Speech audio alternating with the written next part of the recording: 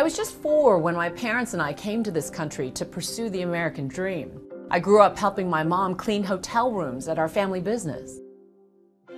As struggling immigrants, the idea that I could someday become a co anchor of ABC News' Nightline, well, that was something beyond my wildest dreams. But I know I wouldn't be where I am today without the many trailblazers who paved the way for careers like mine. Legendary TV journalists like my friend Connie Chung, who became the first ever Asian American woman to anchor a flagship network newscast for the CBS Evening News. For young reporters like me, she was our North Star. There was the multi talented artist George Takei, who blew my young mind with his iconic role as Mr. Sulu on Star Trek. Off screen, he's been a lifelong activist fighting for LGBTQ rights and inclusion for immigrants and Asian American Pacific Islanders. We're talking pro athletes like Jeremy Lin, the former New York Knicks basketball player who captured the hearts of Asian Americans. I was enthralled by his Cinderella season, dubbed Linsanity.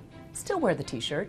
Lin brought attention to the need for representation both on and off the basketball court. There's the duo behind Crazy Rich Asians, author Kevin Kwan and director Jon Chu, who presented a bold statement about Asians in Hollywood with a hit rom com, the first feature length film to showcase an all Asian cast in 25 years. And finally, there are groundbreaking American patriots like Fred Korematsu. During World War II, he refused to go to an internment camp for Japanese Americans.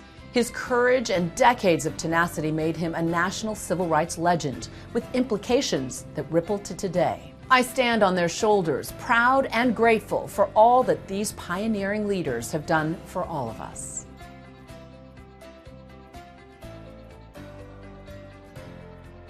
Happy Asian American and Pacific Islander Heritage Month.